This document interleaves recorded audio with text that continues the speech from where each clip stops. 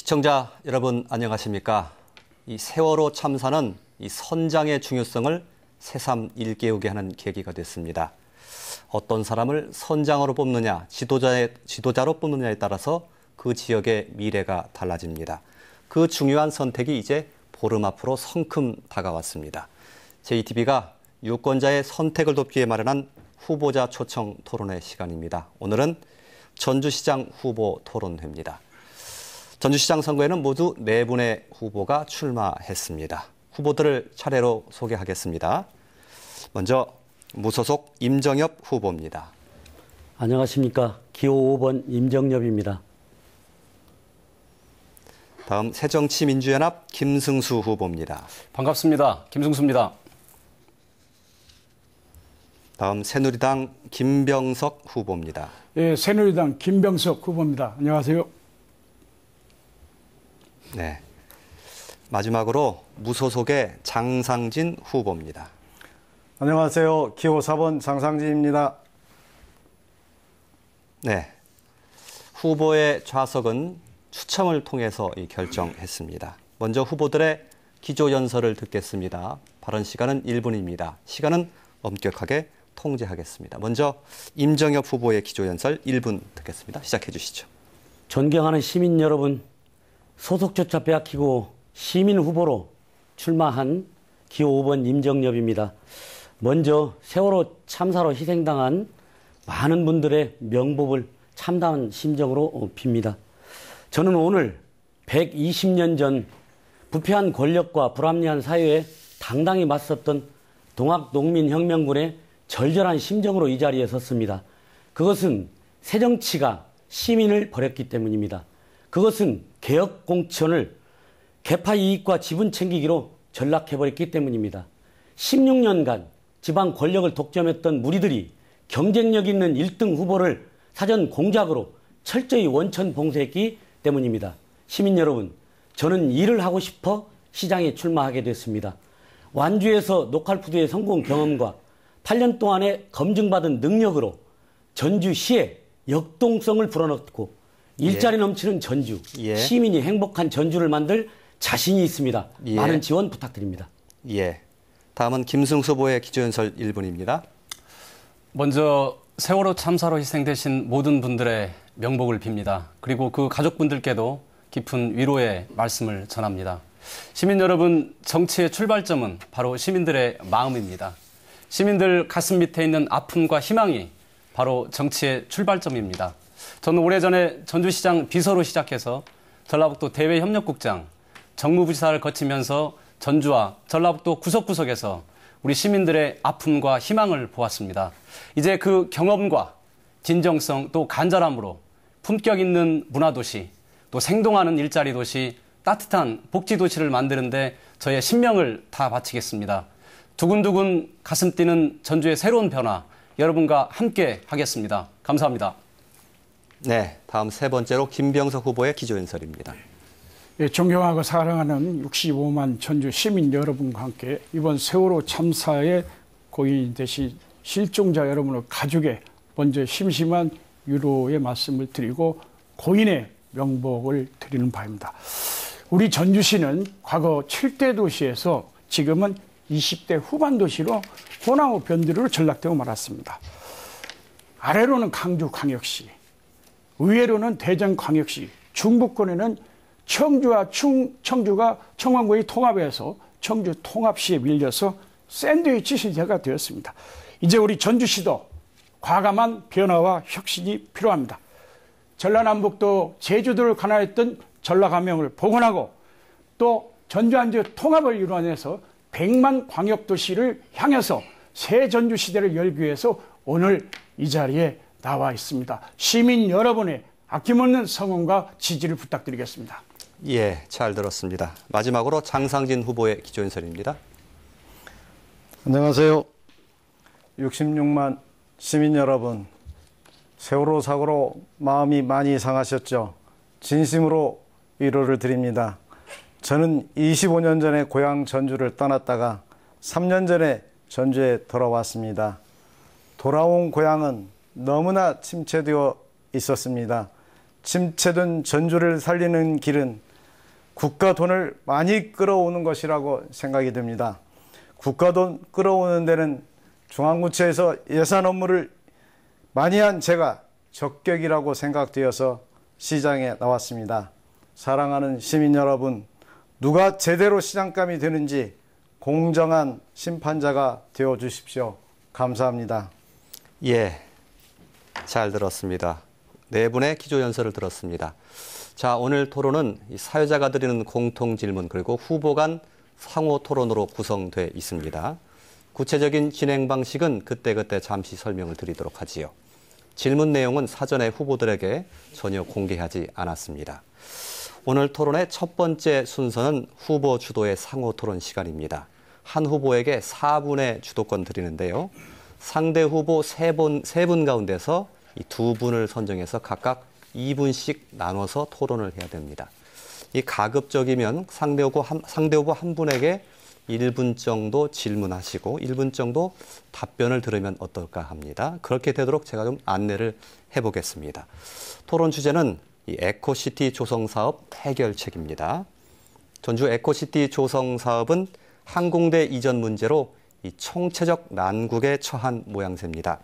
아파트 중심의 개발 계획을 수정해야 한다는 주장이 있는가 하면 사업의 골격은 유지해야 한다 이런 주장도 있습니다. 전주 북부권 개발의 핵심인 에코시티 조성 사업의 바람직한 방향에 대해서 토론해 주시기 바랍니다. 먼저 김승수 후보께 주도권 드리겠습니다. 어느 후보님께 먼저 질문하시겠습니까? 네, 장상진 후보님께 먼저 네. 질문 드리겠습니다. 시작하시죠. 네, 우선 항공대 이전이 되지 않아서 재산권에 막대한 피해를 받고도 고통받고 있는 우리 시민들, 또 에코시티 공사 착공이 지연됨에 따라서 위기에 몰려 있는 많은 업체 관계자분들께 깊은 위로의 말씀을 드립니다. 우선 현재는 에코시티가 13,400세대 그러니까 3만 3천 명을 수용할 수 있는 공동주택을 짓게 돼 있습니다. 많은 분들이 우려를 하고 계십니다. 이제 전주가 인구가 늘어나지 않으면서 도시가 계속 팽창하고 있기 때문에 과연 3만 3천 세대를 지었을 때 과연 분양률이 어느 정도 될 거냐. 또 그 분양 3만 3천 세대가 사실 너무 많은 양이기 때문에 구도심에 있는 또 인구가 또 상권이 그쪽으로 이동하지 않을까 많은 걱정들을 하고 계십니다. 아마 전주시에서 부시장을 하셨기 때문에 여기에 대한 특단의 대책들을 가지고 있을 걸로 생각하고 있습니다. 말씀해 주십시오. 예, 말씀 잘 들었습니다. 먼저 답변에 들어가기 전에 이 항공대 이전 문제로 에코시티 사업이 전혀 지금 진행이 되고 있지 않습니다. 우리 김 후보께서는 이제 이전이 잘 됐다고 생각을 하고 그 후에 주택 문제를 갖고 말씀을 하시는데 아니, 네, 저는 그 네. 이전에 이 항공대 문제는 첫 번째 단추부터가 잘못 끼워졌다고 생각이 됩니다. 2006년도 어, 전 부시장인 김한주 현 도지사님께서 이 문제를 처음 시작을 했습니다. 당시에 잘 아시다시피 항공대 문제를 제의하고 3호 사단만 이전하는 거로 했습니다. 그러다 보니까 8년 동안 3호 상공대 이전을 위해서 노력을 해도 해결이 되지 않았습니다. 35사단의 필수 부설 시설인 항공대를 별개로 취급한 근본적인 잘못이 있습니다. 저는 방금 그만 삼천 세대냐 이런 부분은 예. 언제든지 수정이 가능합니다만은 시간 다 됐습니다. 제일 중요한 예. 것은 거기까지 근본적인 항공대 문제를 첫. 단추를 잘못 꼈기 때문에 예. 거기까지 그 부분을 듣겠습니다. 해결을 하는 것이 우선적으로 시급하다고 예. 생각합니다. 다른 후보 지정하셔서 또 토론하시기 바랍니다. 예. 네, 김병석 후보님께 말씀을 드리겠습니다. 예, 방금 전에 항공대 이전 문제가 뭐 굉장히 새로운 이슈로 저희가 떠오르고 있고 항공대 이전이 되지 않아서 많은 시민들께서 고통을 받고 계십니다. 그동안에 그 송화진 시장님 또 송화진 시장님과 같이 일을 하셨던 장상신 부시장님께서도 굉장히 많은 노력들을 하신 걸로 알고 있습니다. 그렇지만 아직은 뭐 답보 상태에 뭐 있는 것도 사실입니다.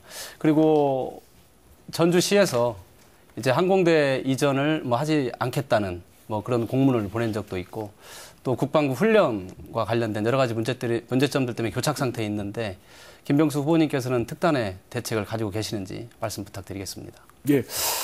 우선 저는 그 에코시티 개발 사업 추진 과정에서 전주시장이나 전주시가 임실군하고 사전에 원만한 합의를 거쳐놓고 사업을 시행을 해야 되는데 사업 먼저 시행을 해놓고 지금까지 지금에 와서는 오늘이 5월 20일입니다. 오늘 임실군과 전주시가 기부대 양역 악세를 체결하지 않으면은 이 사업은 엄청난 미국으로 빠지게 되어 있습니다. 그간에 전주시에서는 이 항공대 이전과 관련해서 또 전라북도에서는 전라북도에서는 어차피 전주시도 전라북도가 주도를 해야 되거든요. 갈등 조정 예배가 있습니다. 3호 산행 이전부터 임실군과 전주에 많은 수많은 갈등이 있었는데 전라북도의 갈등 조정에는 무슨 역할을 했는지 저는 오늘 이 자리에서 분명히 짚고 싶고요. 그 다음에 오늘 저는 에, 국방부 당에 오늘 20, 5월 20일까지 임실군과 완주군의 양해각서 기비 마감이기 때문에 오늘 저는 특별 건의를 했습니다. 국방부 중앙당에서 새누리당 중앙당에서는 빨리 국회 국방위원회 또 김관진 국방부 장관을 만나서 이전 양해각서 체결 기간을 금년 말까지 연결해주고 국방부 훈령도 재조정했으면 좋겠다 생각하고요. 예, 저는 오늘 거기까지 통해서 듣겠습니다. 예, 주민 예, 여러분에게 고통을 준게. 죄송스럽게 생각하고 이 문제를 예. 빨리 해결하는데 주도적으로 나서겠습니다. 예, 시간이 다 됐습니다. 제가 말씀드리면 통제 좀 따라주실 걸 부탁드리겠습니다. 다음은 김병수 후보에게 주도권 드리겠습니다. 어느 후보에게 질문하시겠습니까? 아, 우선 그 김정수 어, 부모님께 예. 예, 말씀을 드리겠습니다. 제가 아까 답변 시간이 좀 음, 길었습니다.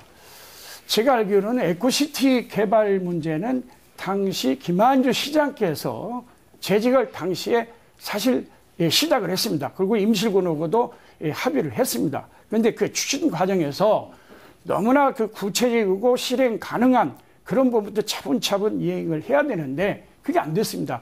그 뒤에 이제 그 소- 송하진 시장께서도 이 문제를 해결하려고 했는데 도대체가 좀 적극적이고 능정적으로 완주 임실 군민을 설득하고 임실군 의회, 임실군청과 정말 적극적인 능동적인 대화를 하고 교섭을 해서 이 문제가 더 이상 예, 안 가도록 해야 되는데 저는 전라북도와 전주시가 너무나 미온적으로 대처한 것에 대해서 대단히 아쉽게 예, 생각합니다. 답변할 거기에 대해서 좀 주시죠. 저 우리 예. 부의사님 답변해 주시죠. 예.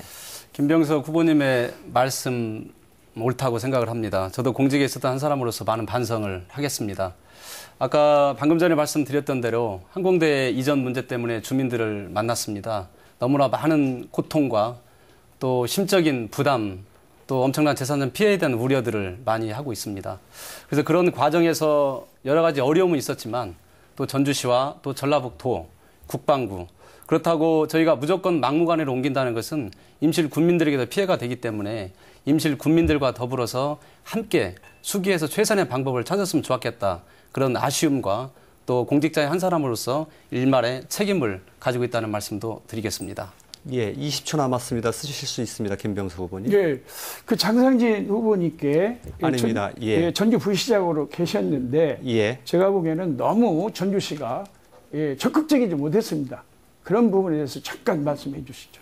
네, 적극적이지 못했다는 부분에 대해서는 저는 반, 아, 생각을 달리합니다. 아, 제가 전주 부시장으로 발령을 받아서 이틀 만에 어, 임실군을 찾아가서 임실 군수를 면담을 했습니다. 그 자리에서 왜 일곱 번이나 안 온다고 해놓고 왜 갑자기 당신이 부시장이 돼서 오겠다라고 하느냐. 저는 그런 수모를 당하면서도 세 번 찾아가고 또 그 후에 저녁에도 만나고 또 낮에도 만나고 수시로 협상을 했습니다. 여러 대안도 제시를 했습니다. 어, 전주시의 많은 부분을 양보까지 하면서 협조해달라고 요청했습니다. 다시 말씀드리면 사무사단은 전주시 시설이 아닙니다. 전라북도 시설입니다. 항공대 마찬가지입니다. 항공대는 3호사단의 병력을 긴급시에 수송하기 위한 부대입니다. 같이 가야 됩니다. 근데 같이 가야 되는 시설을 어렵다고 별도로 추진한 그 출발이 잘못됐기 때문에 출발을 잘못해 놓으면 그 뒤에 아무리 노력을 해도 어렵습니다. 저는 결자 해지라고 생각합니다. 예. 나머지 시간 50초 정도 더 남았습니다. 쓰실 수 있습니다. 예, 예. 제가 생각할 때는요, 전주시에서 일방적으로 임실군이나 임실구 의원이나 임실구 주민을 설득만 갖고는 안 됩니다. 이전에 때는 인센티브를 제공을 해서 임실군이나 임실군민이 어느 정도는 수용할 수 있는 그런 정책이나 인센티브를 제시를 해야 되는데 무조건 가서 예, 설득한다고 이게 될 일이 아니거든요. 뭐 예. 너무나 우리- 제가 볼 때는 이, 너무나 소홀하게 예, 예, 우리 추진을 했다고 생각합니다. 김 후보님께서는 그 세부 내역을 잘 그 파악을 하시지 않은 것 같은데 아, 말로만 해서 누가 설득이 되겠습니까? 어, 저희들이 당초에 협약서에 5대5 지분을 이렇게 했는데 5대5 예. 지분도 거의 다 포기를 하고 듣겠습니다. 또 예. 추가 보상금 장상진 후보님, 예. 주도권 자연스럽게 가져가시니까요. 어느 후보께 질문하시겠습니까? 예, 우리 김승소 후보님께 말씀드리겠습니다. 아까 말씀을 드렸지만 어, 사무사단 이전 문제는 어, 항공대와 함께 예, 이루어질 것이라고 생각이 되는데 어, 2006년도 어, 김한주 전주시장님께서 어, 잘못된 판단으로 오늘까지 이런 문제가 있었다고 생각이 듭니다. 전주시에서는 그간 8년 동안 임실군에 수십 차례 쫓아다니고 여러 보상 대안도 제시를 했습니다. 그러함에도 불구하고 첫 단추가 잘못 끼워져서 오늘까지 오늘날까지 해결되지 않고 있는 문제가 있습니다. 이런 어려운 문제를 지난 5월 8일 김 후보님께서는 항공대 이전을 잘 마무리하겠다고 언론에 발표했습니다. 이와 같이 이렇게 쉬운 문제 아닌 걸 잘 마무리하겠다 한마디로 해결될 수 있을 것인지 이건 굉장히 어, 8년 동안 또 당시에 어, 김한주 전주시장님께서 어, 예. 전주시장을 계셨고 그 당시 직전까지. 예. 비서실장을 하셨던 김 후보님께서 이렇게 쉬운 문제인 듯이 답변 어, 말씀을 하셨는데 예. 구체적으로 어떻게 해결을 하실 것인지 말씀을 예, 부탁드리겠습니다. 40초 남았습니다. 네, 방금 전에 좋은 지적 감사를 드리고요. 이 자리에 김한주 지사께서 후보로 오셨으면 훨씬 더 대화가 잘 됐을 거라 이렇게 생각을 합니다.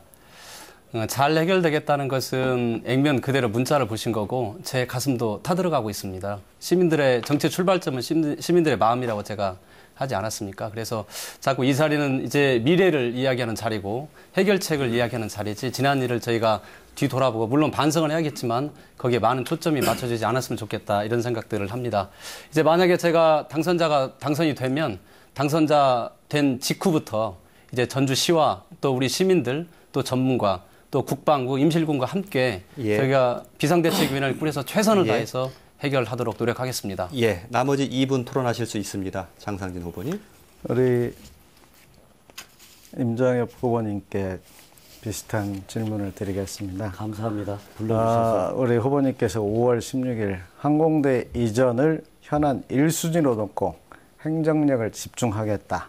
아, 팀까지 만들겠다. 이렇게 말씀하셨습니다. 굉장히 그 적극적으로 해주시겠다는 거에 대해서 어, 저도 시민의 한 사람으로서 감사하게 생각드립니다. 그러나 어, 방금도 말씀드렸다시피 시장과 부시장이 수차례 아마 비공식적으로 따지면 수십 차례 협상하고 저희들이 대안도 제시하고 그렇게 했는데도 어, 이게 안 됐습니다. 그런데 어, 진짜 말로 행정력을 동원해서 집중하겠다. 이렇게 해서 해결이 될 수 있을 것인지 제가 표현을 뭐, 뭐 너무나 물고 늘어지는 것 같아서 죄송합니다만은 그거보다는 이 어려운 문제를 구체적으로 어떻게 해결할 것인지 한번 고견을 듣고 싶습니다. 아, 그 새 후보님 중에 마지막에 그래도 저를 한번 불러주셔서 고맙습니다. 어, 제가 적극적으로 나서서 팀이라도 꾸려서 하겠다라는 의지는 부시장님, 아- 전 부시장이셨기 때문에 아시겠지만 혹시 이 문제로 시장께서 또는 최고 책임자가 또는 이 항공대 문제는 전주 시만의 문제가 아니잖아요. 전라북도 어딘가에 있어야 될 그런 기지입니다. 도의 책임자가 국방부에 자주 또는 직접 방문했다는 얘기 혹시 들어보신 적 있으십니까? 도에서 방문했다는 말은 못 들었습니다. 접근 자체, 시작 자체가 잘못된 문제죠. 처음부터 같이 출발을 했더라면 지금 이런 어려움은 겪지 않았을 겁니다. 그런데 최고 책임자의 의지가 좀 더 강하다면 해결하는 데 도움이 되지 않을까 하는 그런 측면. 두 번째로는 일부에는 해석 여하에 따라서 예. 해결 방법이 나올 수도 있다라는 것 때문에 예. 적극적으로 일순위로 하겠다고 의지를 표명했던 것입니다. 듣겠습니다. 자연스럽게 임중혁 후보의 주도권 순서입니다. 예. 먼저 김승수 후보께 묻도록 하겠습니다. 네. 당원 투표도 없이 전주시장 후보로 무혈 입성했는데 일단 축하드립니다. 조금 전에 업체 관계자에게도 위로를 드린다라는 표현을 썼는데 네. 나는 지금 업체 관계자 위로할 그런 상황이 아닌 것 같아요. 혹시 미- 며칠 전에 녹색연합에서 3호사단 오염 문제 때문에 기자회견 한거 예, 들으셨습니까? 예. 예. 비용이 어느 정도 더 드는지 아십니까? 우선 방금 전에 민감한 말씀을 하셨는데요. 저한테 축하 말씀을 해주셔서 뭐 대단히 감사하게 생각을 합니다. 그리고 또 시민들로부터 인기가 제가 많아야 되는데 여기 후보님들께서 저를 먼저 굉장히 사랑해 주셔서 감사 말씀을 드리겠습니다. 방금 전에 당원 투표 없이 그 하셨다는 말씀 제가 간략히 설명을 드리겠습니다. 어차피 말씀하셨기 때문에 자, 내가 질문하는 것은 자꾸 어머니가 아니고 시간을 다시 쓰도록 하겠습니다. 어, 적어도 우리 김승수 후보께서는 아까 지나간 것에 관한 이야기는 않는 게 좋다고 하지만 미래는 과거를 추측할 것도 겁- 있는 겁니다. 제가 설명하고 싶은 것은 우리 장상진 후보께서도 말씀하셨지만 뭐가 급했는지는 모르지만 임기 몇 개월 남기지 않고 조급하게 추진한 이것이 오늘날 전주시 전체의 걱정거리가 되어버린 겁니다. 그래서 조속하게 추리한, 추진한 이 사업 때문에 지금 많은 사람들이 걱정을 하는데 우리 김승수 후보가 뭐 언론에 답변 발표한 시간을 걸 보면 어떨까요? 예. 예. 시간이 좀 얼마, 얼마 예, 남지 않아서. 답변을 서로 같이 하는 것이기 때문에요. 예. 이게 가득한 건물만 가득한 회색 도시로 전락할 우려가 크다. 그래서 재검토하겠다 이런 얘기를 했어요. 그런데 처음부터 회색 도시가 될 수 있다는 생각은 안 하셨습니까? 아, 그 말씀 잠깐 드리겠습니다. 그 당시에 김한주 지사께서 확장을 한 개발 계획을 확장한 건 아닙니다. 유예 기간 예. 2년을 아 시작을 했죠. 했지만 시작을 했기 때문에 오늘날 이런 일이 벌어진 회색 것이지. 도시로 간다는 개발 계획을 확정한 게 아니고 그 당시의 계획은 회색 도시가 들어서면 안 된다. 그래서 우리도 대전처럼 대적 개발 연구 단지처럼 그렇게 좋은 시설에 와야 된다. 그래서 2년 기간 유예를 두고 그 당시에 확정을 하지 아 않고 그런데 값은 아, 열 10배가 싸고 맛은 후보님. 100배가 좋은 게 어디가 있습니까? 예, 그런 것은 알겠습니다. 없지요. 알겠습니다. 그렇죠? 자기 능력 여하에 따라서 예. 할수 있다고 김승수 봅니다. 후보님. 예. 현실을 뛰어넘는 건 없다는 거죠. 시간이 벌써 20초가 초과됐습니다. 예. 다른 후보께 질문하셔야 됩니다. 예. 장상진 후보께 묻겠습니다. 에코시티에 관해서 최고의 문제는 조금 전에 지적하신 것처럼 출발 단계가 잘못된다는데 저도 동의하는데 그 부분에 관한 똑같은 생각이시죠? 네. 지금 상태에서 저는 이 부분에 관해서 하루에 이자만 약 1억 골로 나간다고 듣고 있습니다. 혹시 그 내용도 알고 계십니까? 그건 조금 뭐 업체 입장에서는 1억이 나가는데 우리 후보님께서 그게 시에 바로 재정 부담으로 말씀하실 수가 있어서 근데 업체가 그런 손실이 있는 건 사실입니다. 그래서 우리 김승수 후보께서는 업체 관계자를 위로하는 것 같아요.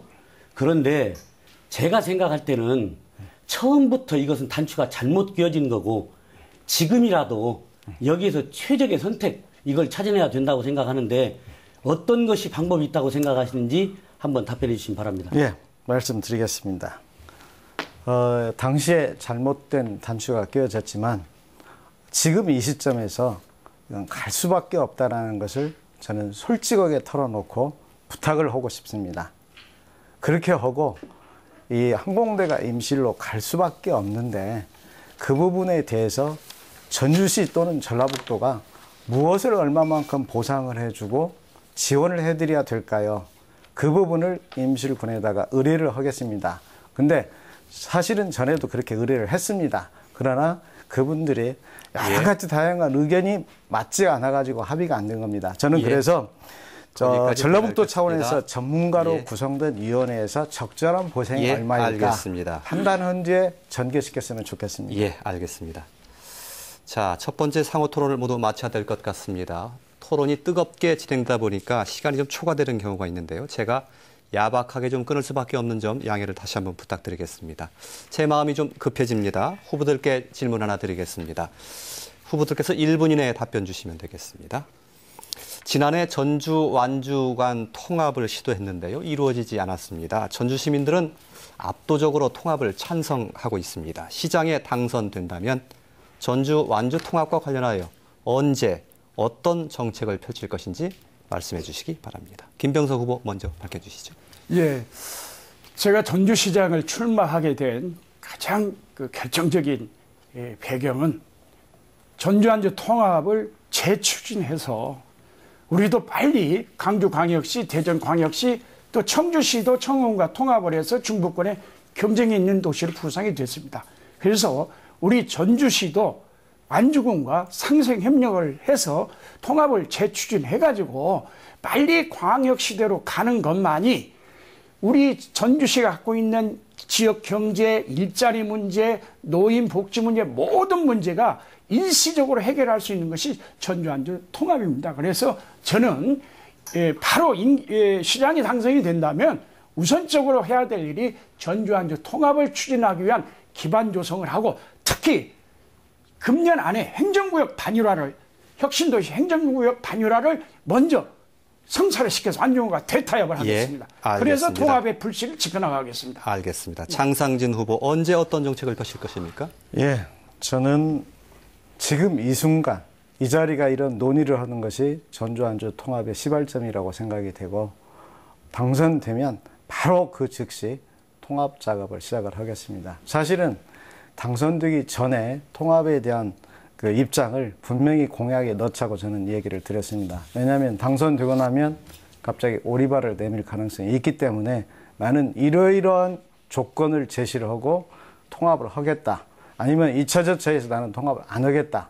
이런 공약을 제시를 해달라고 요청을 한 바 있습니다. 완주군 후보들에게도 마찬가지입니다. 어, 저는 왜 통합이 안 되느냐. 이 부분을 먼저 짚어봐야 될 거라고 생각이 됩니다. 작년에 통합이 되리라고 많이 기대를 했었으나 실패를 했습니다. 그 이유는 완주 군민들의 오해라고 생각이 듭니다. 저는 그래서 제일 첫 번째 해결해야 될 사안이 완주 군민들이 예. 오해를 하고 있는지 사실인지를 예. 분명히 규명하는 것이 중요한데 예. 전주시에서 이 얘기를 하면 자꾸 아니라고 하니까 전문가들이 참여해서 그걸 풀어줬으면 좋겠습니다. 예. 그 작업을 바로 시작하겠습니다. 예. 임정혁 후보 답변 순서입니다. 예. 작년 통합 추진 과정 참으로 안타깝죠. 시작할 때는 약 60대 40 정도로 통합이 될 걸로 알고 추진을 했었습니다. 많은 분들이 애쓰셨는데 애쓰신 분들에게 이 자리를 빌어서 다시 한번 감사 인사를 드리고요. 지난번에 통합이 안 돼서 앞으로 통합이 되면 인센티브가 없어진다는 것 때문에 걱정들을 하고 있었습니다. 이 부분 해결을 위해서 특별법 부칙을 개정해 달라고 군수로 마지막 재임 시간에 정부에 건의를 하고 왔고요. 저는 먼저 통합이 되기 전에 혁신도시의 경계 조정을 먼저 하는 것이 옳을 것 같고요. 통합에 관해서는 시장에 당선이 되면 법률적으로는 2015년 7월 1일 이후에 추진이 가능하지만 실질적으로는 통합 시, 통합을 위해서 시장이 당선된 그 순간부터 군민들이 불안해하는 것이 크게 세 가지입니다. 하나는 교육의 혜택이 줄어들 거라는 생각, 두 번째는 노인 복지가 줄어들 거라는 거, 세 번째는 농촌에 관한 지원이 줄어들 거라고 생각하는데 예. 이 부분에 관한 걱정들을 예. 줄일 수 있도록 적극적으로 설득하고 조정해 예. 나가도록 하겠습니다. 예. 마지막으로 김승수 후보 답변 차례입니다. 네, 우선 여기 계신 새 후보님들께서 지난 통합 과정에서 무진 애를 쓰셨습니다. 다시 한번 감사 말씀 드리고요. 또 시민 여러분께도 깊은 감사의 말씀을 드리겠습니다. 저 역시 전주안주 통합은 반드시 통합돼야 된다고 생각을 하고 있고요. 또 이제 만약에 당선이 된다면 당선되는 직후부터 바로 통합 작업을 시작하도록 하겠습니다. 다만 앞서 후보님들께서도 말씀하셨다시피 통합의 통합 실패의 원인이 원인 중에 하나가 완주 군민들께서 여러 가지 오해를 하셨고 또 하나의 이유는 우리가 완주 군민들 마음을 설득하지 못했다 뭐 이런 반성도 하게 됩니다. 그래서 이제 완주군을 대단위로 개발하고 또 무언가 또 농산 시장을 뭐 옮기고 개발하고 그런 문제보다는 오히려 국민들을 차분히 설득하고 또 우리 전주 시민들의 진심을 알게 해서 2년 뒤에 투표할 수 있을 때 그때쯤 되면 충분히 여건을 마련하면서 준비하는 게 좋다고 생각하고 곧바로 시작하겠습니다. 예, 알겠습니다. 잘 들었습니다. 자, 다음은 두 번째 상호 토론 순서입니다. 방법은 앞서 했던 것과 같습니다. 이 토론 주제는 종합 경기장 재개발과 이 컨벤션 센터입니다. 전주 종합 경기장을 부수고 그 자리에 이 대기업 쇼핑몰을 짓는 방안에 대해서 영세 상인들이 크게 반발하고 있지요. 그동안 전주시는 지역 발전을 위해서 컨벤션 센터가 꼭 필요하다면서 이를 추진했지만 논란이 계속되고 있습니다. 종합경기장 재개발과 컨벤션 센터 건립에 대해서 토론해 주시기 바랍니다. 먼저 장상진 후보께서 질문하실 상대를 고르시면 되겠습니다. 네. 어, 먼저 김승수 후보께 질문을 드리겠습니다. 어, 김 후보께서는 어, 동사업을 어, 현행대로 추진하는 것에 대해서 아, 반대를 했습니다. 예. 뭐, 김 후보뿐만이 아니라 여기에 계신 모든 분들이 반대를 했고, 어, 저도 반대를 하고 있습니다. 어, 근데 저희들이 이, 그러면 제일 큰 문제가 이 종합 경기장을 어떻게 이전시킬 것인가. 이게 80년대 만들어져 가지고 굉장히 지금 종합 경기장이 육상 경기장 거의 사용치 못하고 있고 야구장 거의 사용하지 못하고 있고 그래서 체육계에 대해서는 체육계에서는 이게 굉장히 큰 전주시의 현안입니다. 또한 잘 아시다시피 컨벤션 아, 큰 대회 대 어, 행사 같은 걸 치를 수 없고 어, 여기에 큰 행사가 있어도 대전에 가서 자야 되고 이런 문제가 다 시민들이 공감을 하고 있습니다.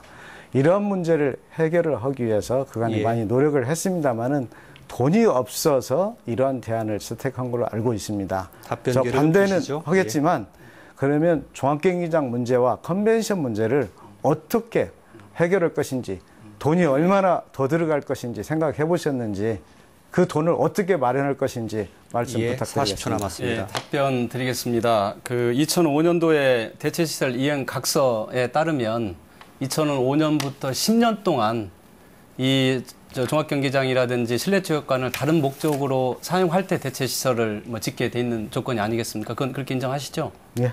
예, 그러면 나와주시죠. 2015년이 되면 이제 대체시설과 관련된 의무 조항이 없어지지 않습니까? 그래서 저는 쇼핑몰은 전주뿐만이 아니라 전라도 전체 상권을 초토화시킬 수 있기 때문에 저는 전적으로 반대하는 입장을 다시 한번 재확인하고 싶습니다.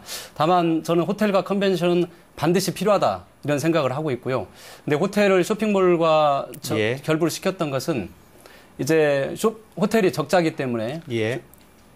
호- 예, 더 거기까지? 드려야 될 것 같습니다. 죄송합니다. 다른 후보 또 선정하셔야 되겠습니다. 장상진 후보님. 예, 우리 임정엽 후보께 질문을 드리겠습니다. 어, 임 후보께서는 어, 최근 언론과 인터뷰에서 동부지를 공공재로 사용하고 청색 기술을 도입했다고 하셨죠. 어, 굉장히 거, 거창한 플랜으로 생각을 합니다. 그러나 저는 이 부분을 보면서 이게 김치국부터 마시는 선심성 행정이 아닌가 이런 생각이 들었습니다. 죄송합니다. 아, 그건 뭐 사고에 따라 다르니까. 그러니까 지금 그 말씀은 모든 것을 다 해결된 뒤에 그 부지에다가 그렇게 하시겠다는 그런 말씀이잖아요. 근데 문제는 어, 돈이 없는 전주시 재정이 처음에 이 컨벤션 사업을 하는데 어, 순수 재정으로 한다면 2,300억 정도가 소요되는 걸로 추정이 됐었습니다. 근데 그런 재원을 도저히 마련할 수 없었기 때문에 궁여지책으로 이런 대안을 마련한 것으로 생각이 듭니다. 그러나 현 시점에서 보니까 예. 이게 지역 상권에 미치는 영향이 너무나 크기 때문에 시간입니다. 예, 포기를 했습니다.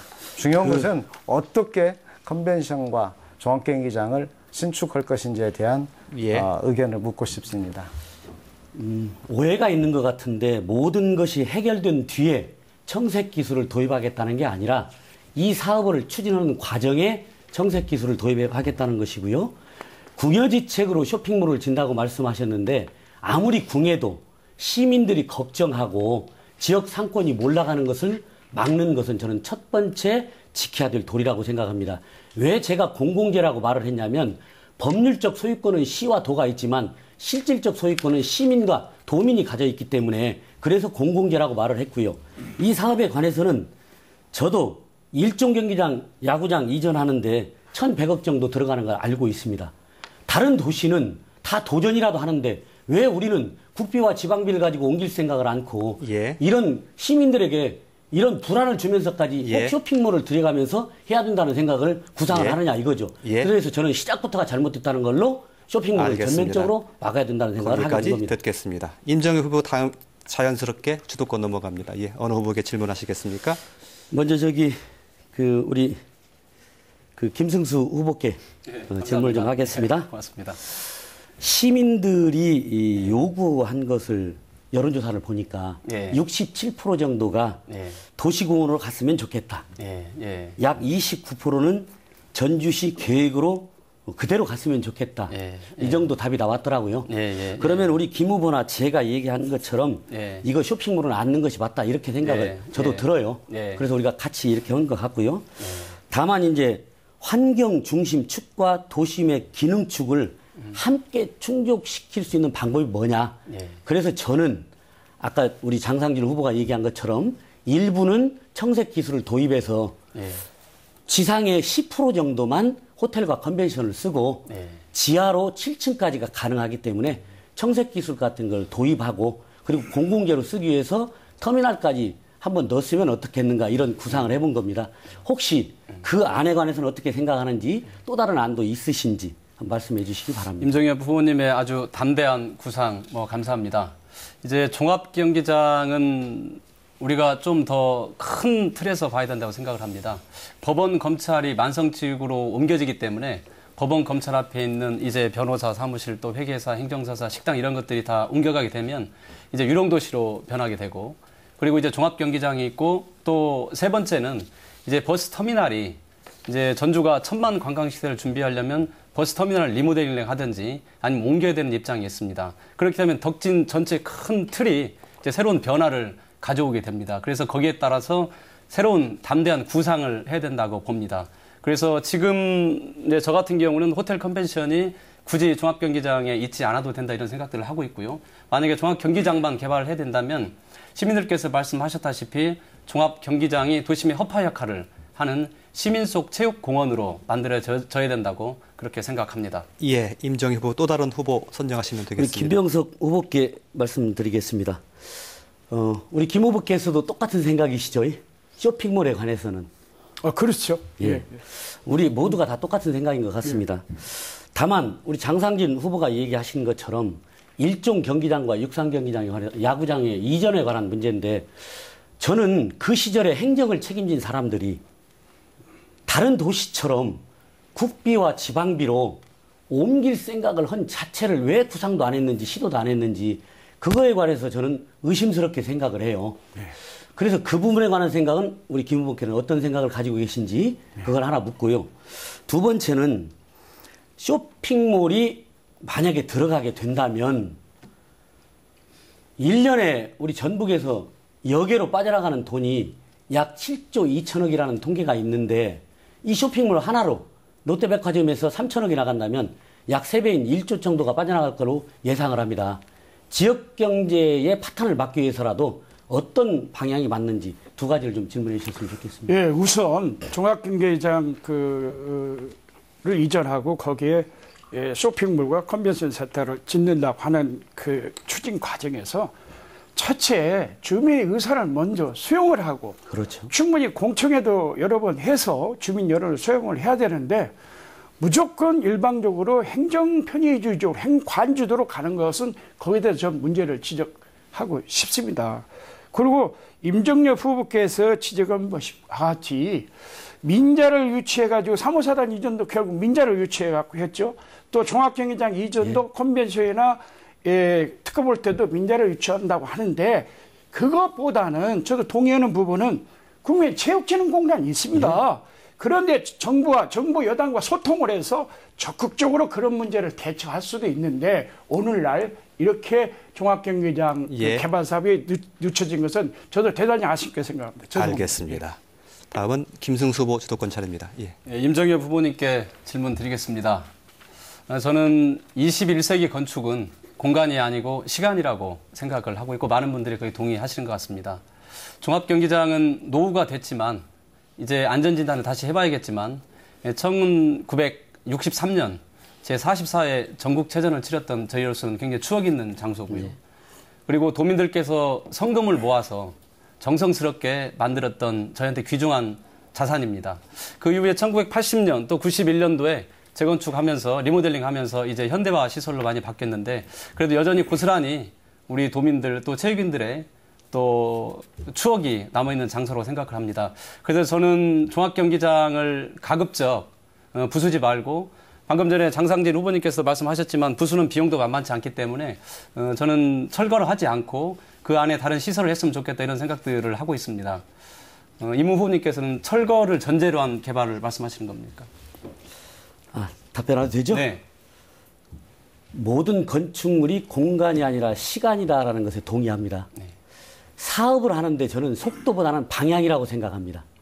무슨 말씀이냐면 철거를 전제로 하는 게 아니고 철거를 해야 된다면 그런 안이 있을 수 있다는 거죠.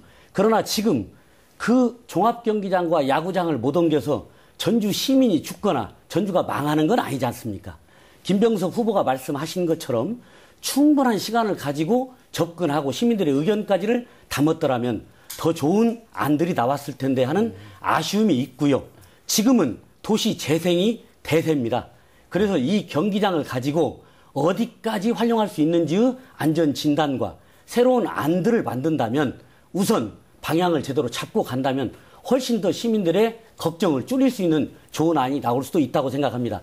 꼭 예. 옮겨야 된다면 그런 안도 있다. 그런 얘기입니다. 알겠습니다. 2분 지났습니다. 다른 후보 또 지명하시죠. 아, 저에게 질문을 많이 해주시는 장상진 후보님께 네. 또 말씀을 드리겠습니다. 음, 아까 그 부시장 하시면서 여러 가지 어려움은 있을 걸로 압니다. 왜냐하면 관광객들이 많이 오기 때문에 호텔은 또 반드시 지어져야 되고 또 컨벤션이 호텔과 같이 있어야 여러 가지 효과들을 나타내기 때문에 그런 어려움 속에서 여러 가지 행정적으로 참 마음, 마음이 마음고생 많이 하셨겠다 이런 생각들을 하고 있습니다.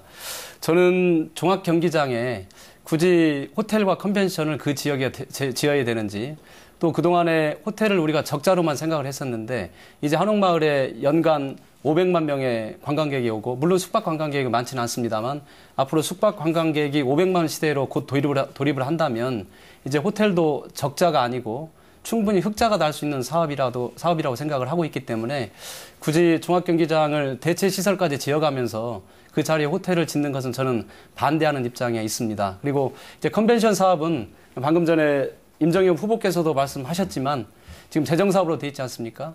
그래서 이것들을 국비를 받아올 수 있는 그런 기회도 정무적으로 충분히 풀 수 있겠다. 물론 쉽지 않은 일이라고 생각을 하고 있습니다만 이제 장상진 후보께서는 호텔 컨벤션을 위치를 종합경기장 내에 두었으면 좋겠는지 아니면 호텔을 반드시 쇼핑몰과 함께 지어야 된다는 예. 생각을 하시는 건지 40초 질문하고 싶습니다. 남았습니다. 네, 말씀드리겠습니다.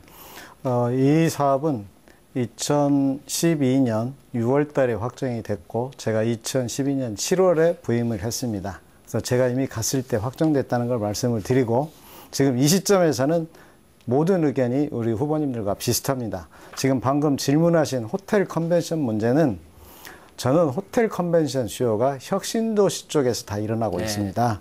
그래서 제 공약에도 호텔 컨벤션은 이미 상황이 바뀌어졌기 때문에 혁신도시 주변에 지어지는 게 가장 합당하고 방금 말씀하신 대로 호텔 컨벤션 수요가 예. 있기 때문에 저희가 시정에 재정으로 개입하지 예. 않아도 민자로도 될 수 있을 것이다. 이렇게 예, 보고 거기까지 모든 듣겠습니다. 부분을 새롭게 원점에서 검토할 필요성이 있다고 봅니다. 예. 마지막으로 김병석 후보가 주도권을 가질 차례입니다. 예. 어느 후보에 질- 질문하시겠습니까? 예, 우선 이 장상진 후보께 질문을 드리겠습니다.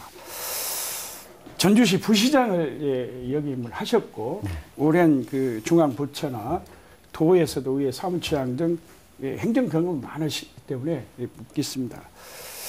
이 전주 종합경기장 개발 문제는 아까 상고 토론 때 제가 말씀드렸습니다만은 저는 용도에 대해서 예, 구 종합경기장 그 스탠드는 예, 철거를 하고 거기에 도심숲을 좀 만들어서 주민들의 휴식 공간도 이용을 하고 또 지역 저 도심에 있는 그 체육 시설이 별로 없기 때문에 운동장 같은 것은 예, 또 체육 시설로 활용할 수가 있습니다. 그래서 이것을 앞으로 예, 종합경기장을 일단 예, 그렇게 정리를 하는데 국민체육진흥공단에 가면 체육시설과 관련한 예, 지원을 하고 있습니다. 그 안에 이제 아까 국가 예산을 예, 많이 확보를 하신다고 그랬는데 예, 청와대에 있었던 간에 예, 또 어디 경제 부처에 있었던 간에 국가 예산 확보는 공무원의 경험보다는 정부 여당과 소통을 해서 국가 예산을 확보하는 것이 사실상 용이합니다. 예, 그래서 그런 면에서.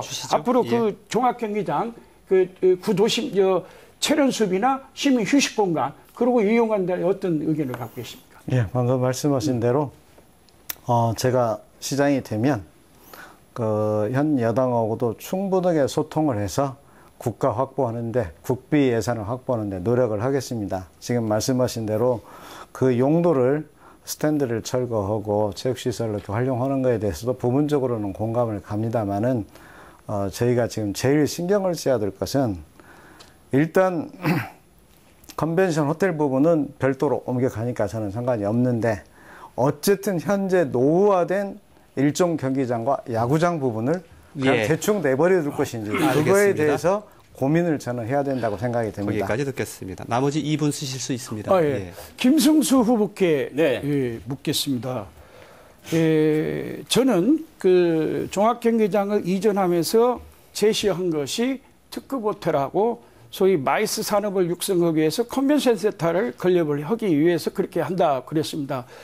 전주시가 아, 솔직히 말씀드려서 한옥마을을 제외하고는 별다르게 이벤트성 홍보성에 있는 사업은 있지만 별로 전주 시민의 피부에 닿고 전주시 발전을 위해서 좀 도약하고 발전할 수 있는 그런 사업은 없었던 걸로 기억이 되는데 이 컨벤션하고 특급 호텔은 아까 말씀드린 대로 전주시 마이스 산업을 육성이 절대적으로 필요합니다. 그럼 저는 거기에 우리 장상진 후보와 예, 저는 동의를 합니다.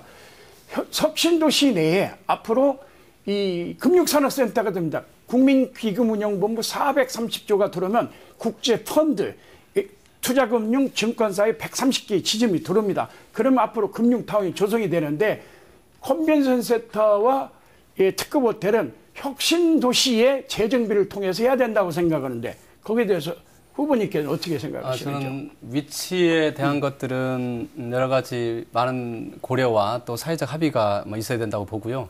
어, 방금 전에 말씀하신 그 부분은 전적으로 동의를 합니다. 저희가 호텔이 방금 전에 말씀드렸다시피 이제 흑자로 돌아설 가능성이 아주 많고 또 컨벤션을 사용하는 기관들이 이제 특히 농촌진흥청이라든지 기금운용본부라든지 기금운용부는 물론 호텔에 대한 사용도 굉장히 높고 또 관광객이 있기 때문에 다만 컨벤션이 전국적으로 뭐 12개 정도 되는데 두 개만 이제 흑자고 나머지는 적자를 보고 있기 때문에 컨벤션을 어느 규모로 할지 이것들은 상당히 저희가 고민을 많이 해서 결정해야 된다고 봅니다. 국제 규모가 아니면 아주 큰 대형 회의를 유치할 수가 없고 또 적다면 또 적자가 계속 누적되기 때문에 컨벤션은 들어오되 규모에 대한 것들은 상당히 전문적 검토를 통해서 결정되어야 된다고 봅니다. 예, 알겠습니다. 시간이 다 됐습니다. 상호 토론을 마쳐야 될 것 같습니다. 자, 갈 길이 멉니다. 제 마음도 좀 바빠지는군요. 이번에는 사회자가 공통 질문도 하나 더 드리겠습니다. 전주에서는 이 시내버스의 장기간 파업으로 시민들이 큰 불편을 겪은 적이 있지요. 그런가 하면 막대한 보조금을 쏟아붓고도 제대로 된 서비스가 제공되지 않는다. 이런 지적이 끊이질 않고 있습니다. 시내버스 문제 어떤 해결책이 필요합니까? 먼저 임정엽 후보 답변 1분 부탁드립니다. 시내버스 문제 전주에서 가장 중요한 시민들이 걱정하는 문제인 것 같습니다. 저는 공약을 시내버스 파업이 없는 도시 전주, 대중교통이 가장 편리한 도시 전주를 공약으로 내걸었습니다. 그런데 어떻게 하루아침에 이걸 할 수 있느냐? 그것은 로컬푸드 방식이라고 생각합니다. 로컬푸드가 성공한 것은 그동안 소비자와 생산자가 이익을 다 나누는 게 아니고 중간상들이 이익을 다 가져갔는데 버스 문제에 있어서만큼은 사용자인 소비자, 시민들이 빠져있는 정책이었다, 그동안. 그래서 저는 가칭, 이 전주시 대중교통 감독원이라는 걸 설립해서 시내버스만을 이용하는 관용차나 개인 자가용이 없는 사람들이 50% 이상 여기에 들어와서 노선도 그리고 돈의 집행도 같이 관리 감독하고 조례로 만들어서 이런 일들을 시민 중심으로 간다면 해결이 가능하다 이렇게 생각을 합니다. 예, 다음은 김승수 후보 답변 차례입니다. 네, 시내버스는 시민들의 발입니다. 시민들의 이동권은 에, 시민들의 삶과 직결되는 문제이기 때문에 무엇보다도 중차대한 우리들의 문제라고 볼 수 있겠습니다. 그런데 이제 시내버스가 많은 문제점들을 이야기하고 있고 우리 시민들께서는 이제 불친절에 대한 고- 저 불만들, 또 결행, 또 노선이 길어지는 점, 또 파업에 대한 두려움, 또 근로자 입장에서는 근로 여건이 너무 열악하기 때문에 이제 더 이상 친절할 수가 없는 그런 막다른 상태까지 와 있습니다. 저는 만약에 시장이 당선이 된다면 시민 교통국을 설치해서 버스 버스 문제를 전담적으로 해설할 수 있는 기구를 만들 계획을 가지고 있고 또 시민들과 함께하는 시민이 중심이 되는 시민 시내버스 개혁위원회를 만들어서 전적으로 거기에 의지를 할 것이고 또 시민들의 의견을 들을 겁니다. 그리고 버스 업체 또 근로자들의 이야기도 들을 겁니다. 그리고 이제 마지막으로 이제 적자가 누적된 그 회사에 대해서는 이제 면허 취소를 할 수도 있는 그런 강단 있는 조치를 할 계획을 가지고 있습니다. 다만 유예 기간은 둘 겁니다. 예, 알겠습니다. 김병석 후보 답변 일변입니다. 예. 저는 지난 3년 전에 10개월 가까운 시내버스 파업으로 인해서 65만 전주 시민이 받은 고통, 특히 사회적 약자인 학생이나 노인들에 대한 그 고통에 대해서 저는 정말 가슴이 아픕니다.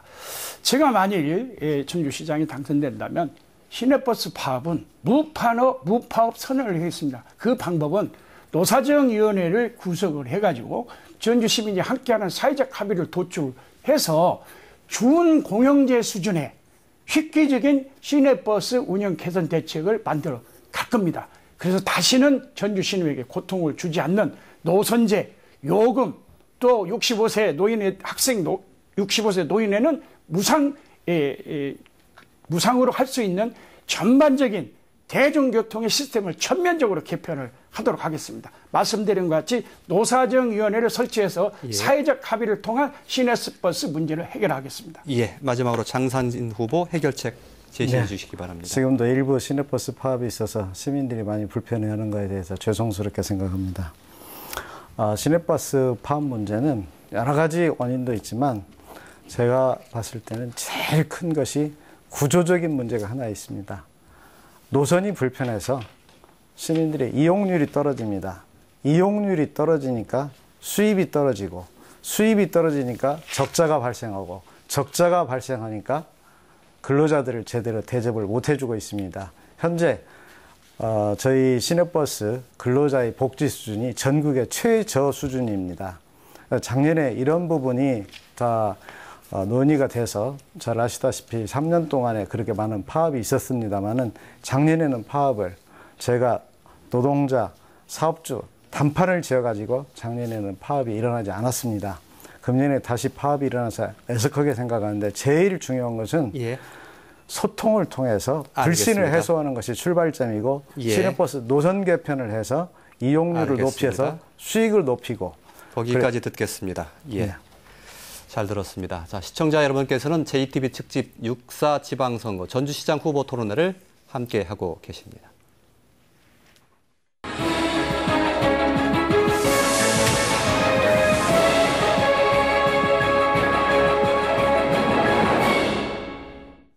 네, 세 번째 상호 토론 이어집니다.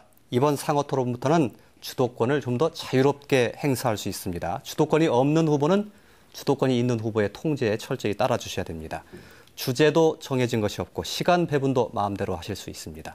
자유 토론입니다. 먼저 김병석 후보가 4분의 주도권을 갖겠습니다. 시작하시죠.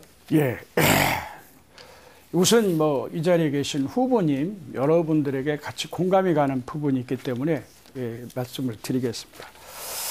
제가 그 인사 말씀을 드렸을 때 1970년대 예, 우리 전주는 7대 도시였고 또 우리 전라북도는 과거에 예, 강원도, 충청북도, 제주도보다는 비교 어, 우위가 있었습니다. 그러나 지금은 이제 30대 도시로 전락이 되었고 전라북도는 가장 경쟁력에 취하된 대한민국의 팔레스타인이 되어버렸습니다. 또 전주시는 호남의 변두리가 되었습니다. 이 책임은 지금까지 지방자치 23년 동안에 민주당 일당 독점 독식의 구도 때문에 그러한 여야도 없고 견제도 없고 경, 책임도 없는 그런 지방자치에 의해서 이루어졌다고 생각을 하는데요. 지적을 하겠습니다. 우선 김성수 부의사님. 네. 저는 그 우리 전북이 이렇게 소외되고 침체된 거, 호남이 변두라된 거, 역대 정권의 책임이 분명히 있습니다. 저 인정합니다. 그러나 우리 민주당 정권 65만 전주시민이 여러와 같은 성원과 지지로 보낸 민주당 정권 하에서도 새만금이 3년 가까이 중단이 되고 제가 도의회 때 전주 신공항 건설을 하기 위해서 500억 예산을 유정군지에서 확보해서 신공항 건설했는데 그것마저도 백지가 됐는데요. 따라서 전라남도는요. 여수 엑스포를 하는데 4조가 들어갔습니다. 또 J 프로젝트 하는데 2조가 들어갔습니다. 또 새만공원과 관련은 무안에 국제공항을 신설해 줬습니다. 또 대전 충남 연기 공주에는요.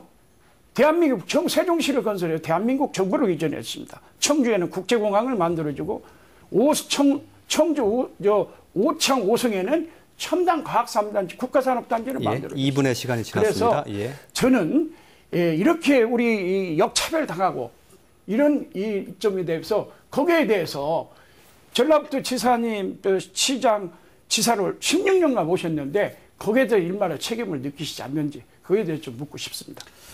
예, 저는 공직자가 뭐 작던 크던 책임을 회피하는 것은 썩 좋은 일은 아니라고 봅니다. 그래서 제 물론 16년 동안에는 이제 공직에 있을 때도 있었고 없을 때도 있었습니다만 전 16년 통틀어서 제가 공직자였던 그런 마음으로 살고 있습니다. 그래서 방금 전에 말씀하신 우리 전북이 어, 소외되고 또 차별받고 이런 점에서는 저도 굉장히 마음 아프게 생각을 하고 방금 전에 말씀드린 대로 공직자로서 어, 그런 책임감이 책임을 충분히 통감하고 있다는 말씀을 드립니다.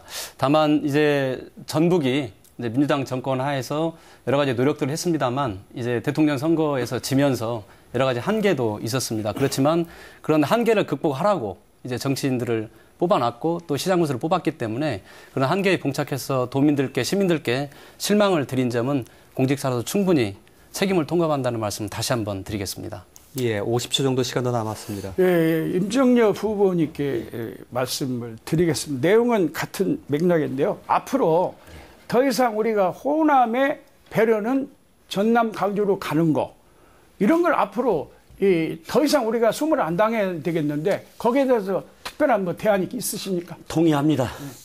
저는 정치인들이 당선이 되고 나서 또 다른 자기 출세를 위해서 노력하는 것이 옳은 것인지 아니면 지역의 미래와 주민들을 잘 섬겨서 꿈을 심어주고 자신감을 만들어주는 것이 옳은 것인지 근데 대개의 정치인들이 전자를 택하기 때문에 우리 지역이 이렇게 나락에 떨어진 거 아닌가 이렇게 생각을 합니다. 적어도 이제라도 자기를 위한 정치보다 지역의 미래, 주민들을 위한 정치하는 사람들을 뽑아야 이런 일들이 막아질 수 있다고 생각을 합니다. 알겠습니다. 적극적으로 동의합니다. 예. 다음은 장상진 후보의 주도권 4분인데요. 4분이란 시간이 길 수도 있지만 그리 길지 않다는 점도 네. 충분히 숙지하시기 바랍니다. 시작하시죠. 예, 어, 뭐 먼저 김승수 후보에게 질문하겠습니다. 네.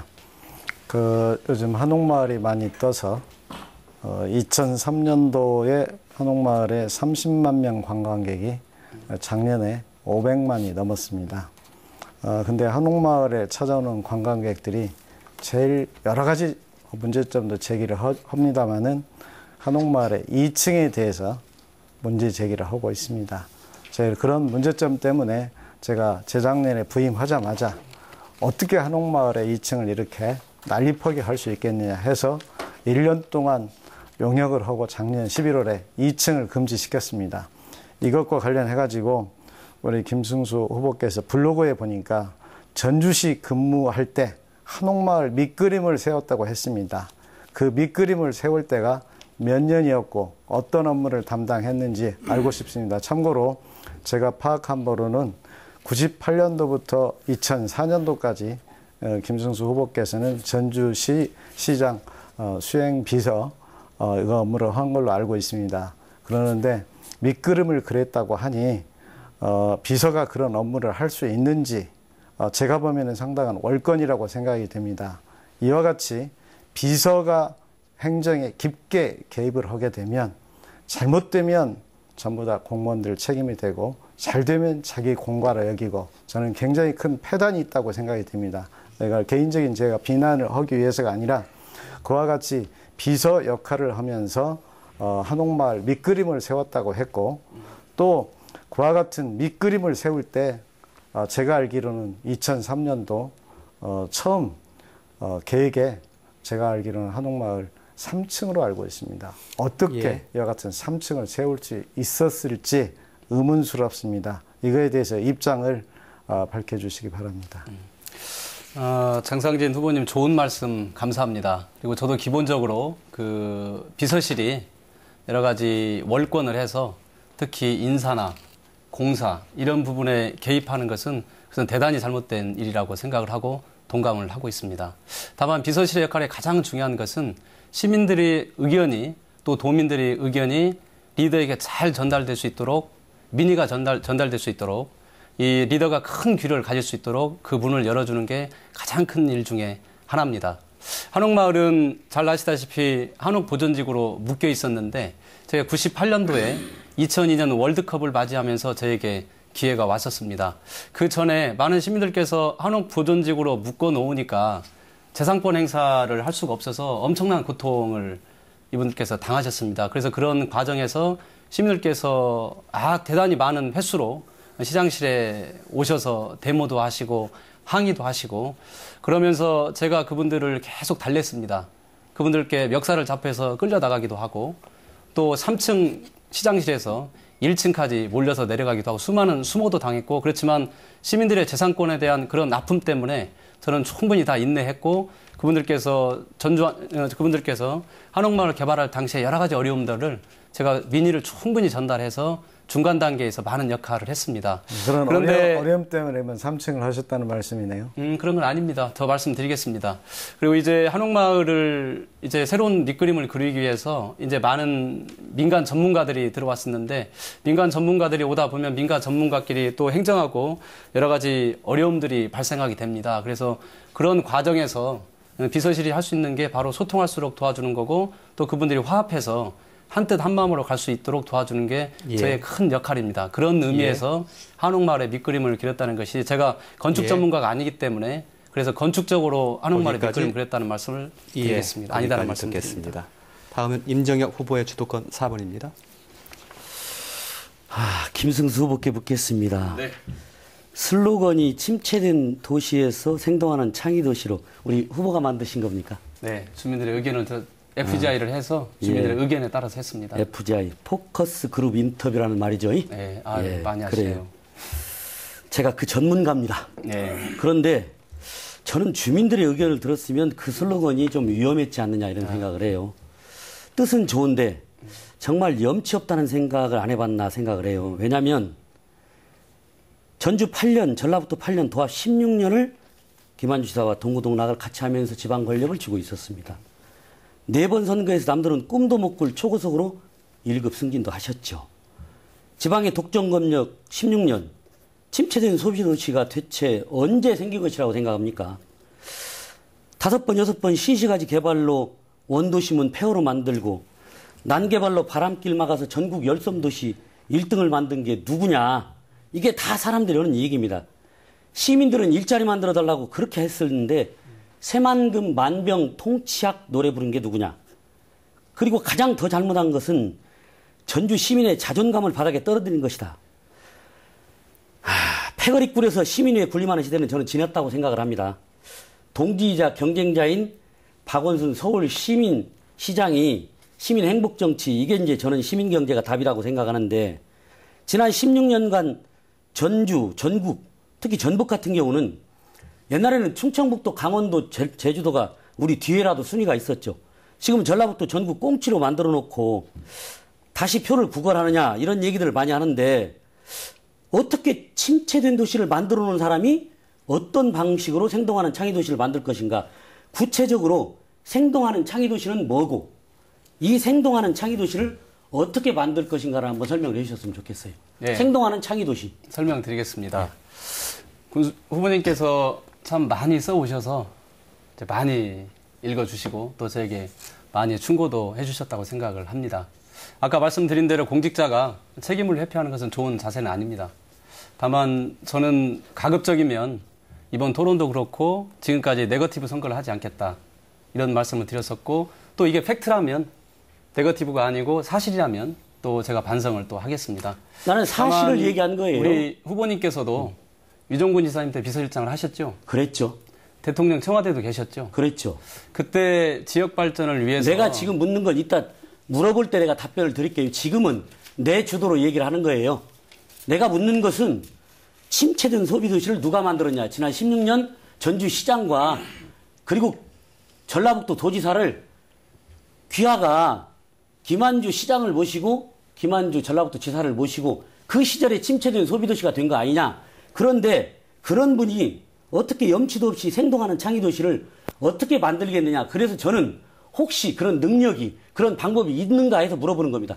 어떻게 생동하는 창의 도시를 만들 것인가 그걸 답변을 해달라는 겁니다. 서론을 그렇게 시작하셔서 관련 답변 드리는 겁니다. 생동하는 창의 도시 어떻게 만들 거냐 그거죠. 토론하면서 귀하 이런 표현은 적절한 표현은 아닙니다. 그러니까 생동하는 창의 도시는 어떻게 만들 방법이 있습니까? 앞으로 어휘 선택하실 때 그건 굉장히 조심하셔야 될 것 같고요.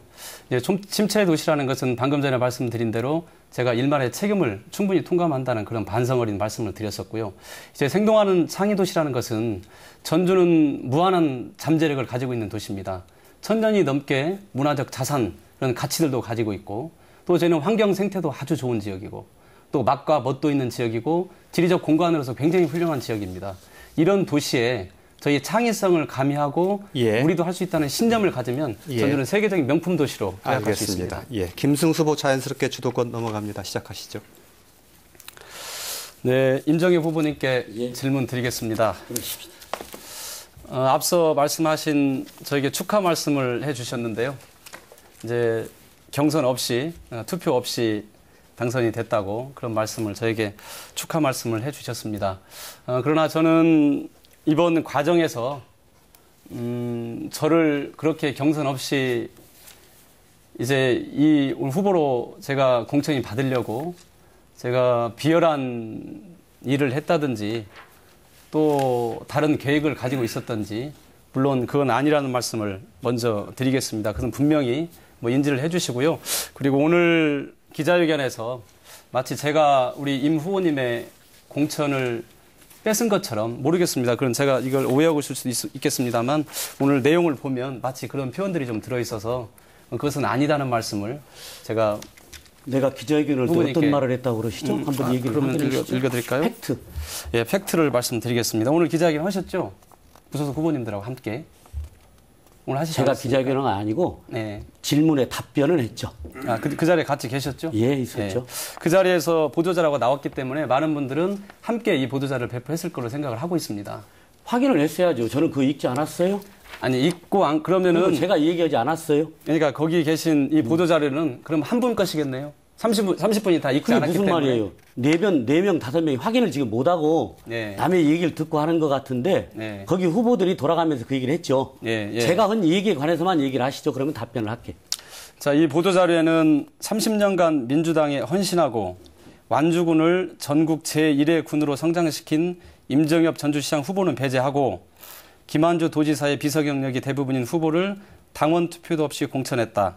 이것은 광주의 전략 공천보다 더 오만하고 악랄한 짓이라고 분개했다. 이건 군수님 뜻은 아니라는 말씀이시죠? 그건 저는 그 성명서를 제가 했다는 얘기 자체는 정정하셔야 될 거예요. 그건 정정하겠습니다. 그러니까 이런 근데 이런 마음을 음. 사실이 아닌 걸 사실 확인도 않고 이런 자리에서 그렇게 얘기를 하면 그건 정말 잘못된 거죠. 아까 확정이라는 말씀은 안 드렸고 제가 오해를 할지도 모르겠습니다. 이런 전제를 제가 두었지 않습니까? 그래서 그 부분에 관해서는 오해지 않습니까? 그래서 사과하시기 바랍니다. 나는 내가 그런 걸 쓰지도 않았고 읽지도 않았고 그런 얘기를 하지도 않았습니다. 그런데 마치 내가 그렇게 한 것처럼 그렇게 얘기하는데 그건 잘못했을 뿐더러 또 하나 완주군을 전국 1등으로 만드는 건 맞지요. 다만 내가 그런 걸 쓰거나 읽지는 않았습니다. 방금 전에 앞서 말씀드렸다시피 제가 오해했습니다. 모르겠습니다. 이거를 군수님께 들었으면 그래서 그건 것 오해인. 걸 확실하면 그 부분에 관해서는 정확히 짚고 넘어가도록 하십시다. 자, 이거는 제가 만약에 오해를 했고 잘못된 부분이 있다면 이것은 임 후보님께 제가 진심으로 사과를 드리겠습니다. 아니 전제를 했잖아요. 내가 그걸 쓰지도 읽지도 않았다고. 네, 그러니까 이 우리 후보님께서는 이 같은 생각이시냐고 제가 묻는 겁니다. 전략공천 저 전주시장 후보를 배제하고 당원 투표 없이 공천했다는 것은 그러니까 마치 내 얘기는 나한테 물어봤잖아요. 뭐라고 물어봤냐면 저 사회자님 그 토론을 저 계속 진행하십시오. 제가 계속 진행하십시오. 때문에 예. 말씀을 드리겠습니다. 예. 그러면 사과하시고 얘기하시죠. 사과했지 않습니까? 진정으로 사과드린다고. 예. 주도권이 김승수 그럼요. 후보에게 예, 있습니다. 예. 그러면 우리 임 후보님께서 이렇게 생각하지 않는데 이 보도 자료를 그 자리에 계셨지만 나온 거죠? 나는 이렇게 말씀도 안 내가 하셨는데. 당당하니 네. 완주군에서 전국 1등을 만들었다는 거 생각합니다. 네, 예. 그리고 그 점은- 그런 부분에 관해서 배제된 것은 잘못됐다고 생각도 해요.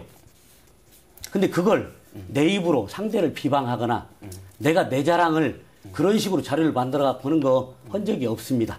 예, 그건 제가 아주 잘 알았고요. 이렇게 생각하지도 않으시고 또 아니 예. 그런 생각을 한다니까요? 알겠습니다. 그러니까요. 거기까지 배제되는 그 예. 어, 그건 알겠습니다. 잘못된 거죠. 제가 그럼 알겠습니다. 다음 질문 때그 점을 예. 말씀 여쭙겠습니다. 합시다. 자, 세 번째 상호 토론을 모두 마쳐야 되겠습니다. 다시 한번 말씀드리지만 이 상호 토론에 있어서의 토론의 품질과 내용은 온전히 이 후보들의 몫이라는 점을 말씀드립니다. 유권자들께서 현명하게 판단하실 겁니다. 자, 다시 후보들께 공통 질문 하나 드리지요. 답변 시간 1분입니다. 옛 도청사 자리에 전라가명 복원 사업이 추진되고 있습니다. 이와 관련해서 옛 도청 건물을 철거해야 할지 말아야 할지부터 가명의 복원 시기와 방향까지 여러 가지 논란이 가시지 않고 있습니다. 후보의 입장은 무엇인지 부탁드립니다. 장상진 후보 말씀하시죠. 네, 전라가명 철거와 보건 문제 관련해서 말씀을 드리겠습니다. 모든 대안이 100% 만족스러운 대안은 없습니다. 저는 전라가명은 어, 구청사는 하루빨리 철거하고 전라가명은 하루빨리 복원하는 게 전주 시민의 이익에 공통 이익에 크게 기여한다고 생각이 됩니다. 어, 전주에는 조선의 많은 역사 유적이 남아 있습니다. 저는 공약으로 전주를 조선을 상징하는 도시로 만들자고 주장을 했습니다. 신라가 어, 경주가 신라를 먹고 살았듯이 어, 전주가 조선을 먹고 살자. 조선을 토대로 해서 전주 발전을 하자. 제가 캐치프레이즈를 그렇게 올렸습니다. 이런 차원에서 어, 전라감영 부분은 하루빨리 복원하는데 저는 조선 복원 사업에 포함시키면 예. 국비 지원까지도 받을 수 있다고 생각이 듭니다. 예, 감사합니다. 알겠습니다. 다음은 임정엽 후보 답변 차례입니다. 예, 전라감영 복원입니다. 아, 전라감영 복원 많은 사람들이 바라기도 합니다. 걱정도 합니다. 어, 다른 도시의 가명을 복원하는데 돈이 너무 많이 들었고 관리하는데도 또 실익도 별로 없었다는 부분에 관한 걱정이죠. 그래서 저는 단순한 복원은 활용도가 떨어지기 때문에 문화 콘텐츠 중심으로 복원하는 것이 어떨 것인가. 원래 가명이 있던 자리에 지소도 있었고 주전소도 있었고 선자방도 있었기 때문에 예를 들어서 주전소 같은 것을 다시 만들어서 지역 화폐를 만들어서 전주에 많이 찾아오는 관광객들과 같이 쓰는 그래서 연 500만 관광객들이 새로운 문화도 함께 공유하는 이런 것들도 좀 넣었으면 어떨까 이런 생각을 하고요. 어, 보존 가치가 어, 있네 없네 하는 현 도청에 관해서는 아무래도 그 시민들 의견을 좀 더 들었으면 더 좋았을 텐데 지금 결정된 것은 어쩔 수가 없을 것 같고 컨텐츠가 있는 전략 예. 가명 복원 이것이 방법이 될 것 같습니다. 예, 김승수 후보 답변 차례입니다. 네, 저는 행정의 일관성도 굉장히 중요하다고 봅니다만 지금 현재 철거가 임박한 건 사실입니다. 그렇지만 저는 철거는 좀 더 미루고 우리가 고민을 해야 되지 않나 이런 생각들을 해봅니다. 전라 가명을 복원하거나 또 다른 형태로 이제 전라 가명과 관련된 시설을 짓는 것은 단순히 건물을 짓는 게 아니고 우리가 역사와 관련된 또 우리 민족 정신과 관련된 것이기 때문에 매우 신중해야 된다고 생각을 합니다. 그래서 시민들까지는 시민들께서는 보통 세 가지로 말씀을 하십니다. 원래대로 복원하자. 물론 이제 복원이라는 의미가 저 어려운 이야기입니다만 원래 있었던 그 시설을 그대로 짓자. 또두 번째 의견은 현재 있던 도청이라든지 또 도의회 건물을 살려서 이거를 숙박시설이라든지 예술인촌으로 바꿨으면 좋겠다. 문화감형으로 만들겠다. 이런 의견도 있으시고요. 그리고 이제 선화당, 선화당이 현재 도청 건물하고 겹쳐 있기 때문에 선화당 위치를 바꿔서 다른 쪽에 놓고 이제 두 건물을 살리자 이런 의견들이 있습니다. 그래서 이것은 매우 중요한 역사적, 역사적, 역사적 예. 사건이기 때문에 이것은 충분히 토론한 후에 결정해야 된다고 봅니다. 예, 알겠습니다. 김병수 후보 마지막 답변 차례입니다. 네, 전라가명 보급 문제는 이미 15년 전에 예, 결정이 됐습니다. 15년 동안 이 지속이 되었기 때문에 더 이상 전라가명 복원에 대해서 논란이 있는 부분에 대해서는 저는 개인적으로 유감스럽게 생각을 하고요. 전라가명 복원돼야 될 가장 중요한 이유는 조선조 때에는 전국에 사대해 주셨습니다. 우리 전주 시민의 역사적 자존 금지를 우선 되찾는 것이 중요하고요. 한옥마을과 전라감이 연계하면은 새로운 그 관광 상품도 개발할 수 있고요. 여기에 대해 소요되는 예산이 539억입니다. 근데 저는 예, 국비를 100억을 반드시 확보를 해서 그 가명 그 구도청사 철거를 해서 그 자리에는 전라 가명 광장을 조성을 하고 손화당은 그대로 짓고 네 개의 전시관이 있습니다. 그것도 빨리 이 마무리를 져서 저는 애정대로 추진을 할 것이고 반드시 국비 100억을 확보를 해서 임기 내에 예. 성사시킬 것을 이 자리에서 말씀을 드리겠습니다. 예, 알겠습니다. 자, 이번에는 마지막 상호 토론 시간입니다. 앞서 해보신 것과 이 방법은 같습니다. 주제가 주어진 것이 없는 점도 같고요. 마지막 순서인 점을 충분히 감안하시기 바라겠습니다. 먼저 순서에 따라서 임정엽 후보에게 4분의 주도권 드리겠습니다. 예. 아, 김승수 후보께 먼저 붙도록 하겠습니다. 네. 부드럽게 가십시다. 네. 천만 그루 나무 심는다는 거 글 읽어봤습니다. 네. 열섬현상 해석이 아주 좋은 아닌 것 같습니다. 네. 저도 녹지를 많이 확보하고 옥상에다가 네. 어, 도시농업도 좀 하고 녹색 커튼 그리고 또 전주천에 물도 좀 흘러가게 하고 싶다 그런 정책을 했는데 네. 그 천만 그루 나무 설마 묘목 가느다란 거 심는다는 건 아니죠? 네. 어느 정도 성목 네. 예. 그러면 수종은 주로 어떤 것이 맞다고 생각하십니까? 수종은 저희가 천만 그루 나무를 심는다는 것은 그늘을 많이 만들어서 그런 수종은 예를 들어서 수종은 저는 음, 아, 생각이 안 나면 느티, 느티나무라든지 예. 또 음, 느티나무라든지 남천 뭐 이런 수종들을 생각하고 있고요. 저희가 열섬을 해소하기 네, 위해서는 이제 제가 또 얘기할게요. 때문에 예. 예, 예. 수종은 느티나무나 뭐 다른 종류 뭐 이렇게 말씀하시죠? 전체 예를 들어서 천만 그루가 느티나무로 다갈 수가 없죠. 다 있겠죠. 예, 예. 저도 동의합니다. 예. 전주 시내에서는 소나무도 심고 그랬더라고요. 예. 또 백합나무가 아주 CO2 줄이는 데는 굉장히 좋기도 하고 그래요. 예. 근데 대구시도 나무 심기를 해서 성공은 좀 한 것 같습니다. 예. 근데 어느 정도 성목을 심으려면 한 주에 그래도 보통 10만 원 정도, 20만 원 정도 드는데 나무에 따라서 예. 좀 적은 것도 있고요. 예. 그러면 10만 원 정도 든다면 이 정도 심으려면 예산이 어느 정도 드는지 혹시 아, 그 말씀은 오해가 좀 있으신 것 같습니다. 설명을 좀 드리겠습니다. 아니 그러니까 예산이 혹시 그 정도라면 어느 정도 드는지 아직 예산까지 계산은 못했고 매니페스토 때 제가 그것은 충분히 해서 실천 계획들을 그러면 그때 좀 합니다. 보도록 하고요. 그렇게 하겠습니다. 제가 이제 왜 이 질문을 했냐면 이게 이제 나무를 어떤 수종을 어떻게 심냐에 따라서 어, 성목 같은 경우는 상당히 돈이 많이 들어가요. 네. 전주시에서 소나무 심은 건 그동안 돈이 굉장히 비쌌을 겁니다. 근데 천만 그루를 심는다는 것은 선언적 의미는 맞을 수 있지만 진짜 천만 그루가 약속이라면 그 돈이 1조쯤 들어갑니다. 그러면 전주가 1년에 우리 장부시장께서 아시겠지만 전 죄송합니다. 그 가용재원이 그렇게 많지 않은데 임기 내에 천만 그루를 심는다고 언론에 나왔더라고요. 그래서 그런다면 1년에 약 2,500 정도인데 너무 많더라. 이거야말로 선심성 공약으로 보일 수 있다. 그래서 이제 그런 얘기를 한 거고. 예. 그러지 누구나 약속을 한 건 지켜야 되니까 또 이 열섬 현상을 만든 사람들이 어떻게 보면 전임의 행정원 분들한테 상당 부분 신도심을 여러 번 만들었기 때문에 책임이 있지 않냐 이런 얘기도 있었기 때문에 네. 미리 좀 준비했으면 예. 그리고 돈이 안 들고 재정에 부담이 없는 방법을 했으면 예. 그렇지 않으면 성목 1인당 하나당 뭐 그 정도 들어가면 1조 정도 들어가는데 이런 엉터리로 선심적 공약이라고 사람들이 오해하지 않았을 텐데 예. 그런 생각이 들어서 예. 이 부분에 관해서 질문을 했고요. 예. 답변 드릴까요? 아니요. 저는 아니라고 그러니까 아, 그 답변 좀 들어보세요. 예. 일단 천만 그루를 나무를 심는다는 것은 아까 말씀드린 대로 성목을 천만 그루를 심어서 전주시가 소화해낼 장소도 없을 겁니다.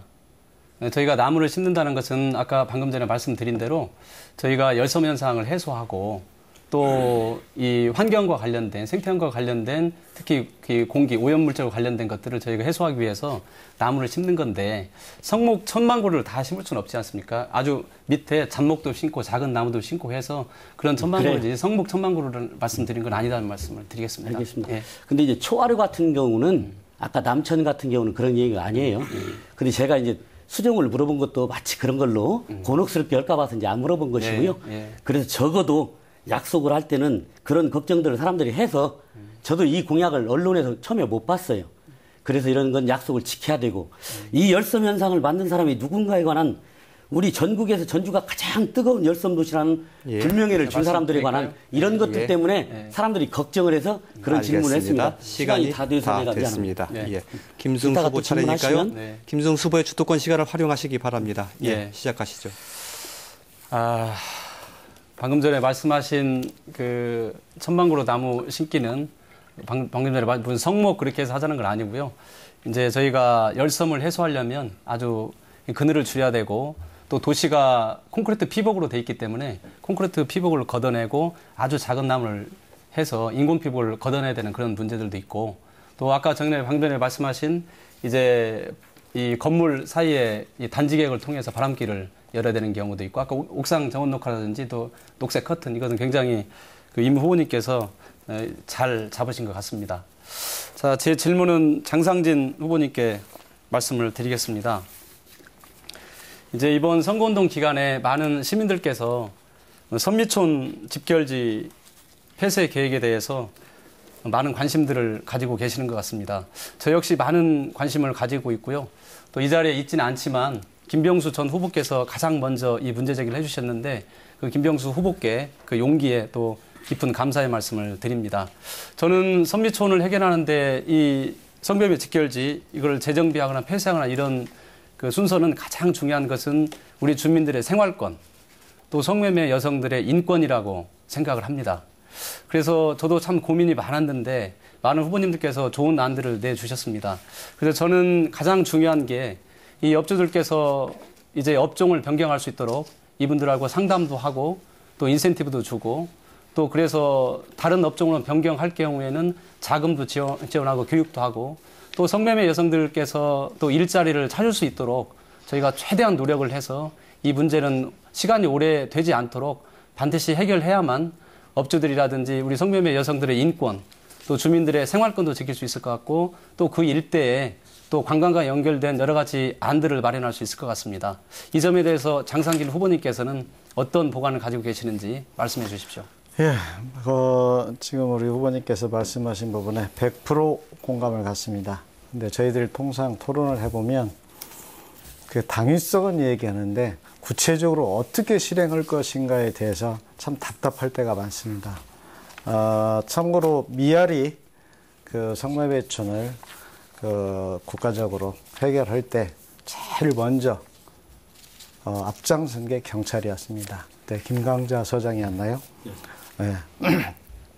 이런 부분, 선미촌 부분이 하루 이틀 문제가 아니었습니다. 저는 이런 부분에 있어서 좀 국가가 좀 관심을 먼저 가졌으면 좋겠다라는 생각을 갖습니다.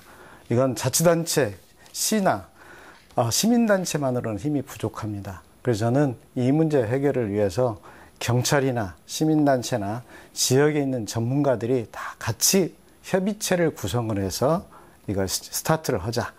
다 불법 행위 아닙니까? 다 불법 행위를 경찰에서 묵인을 하고 있지 않습니까?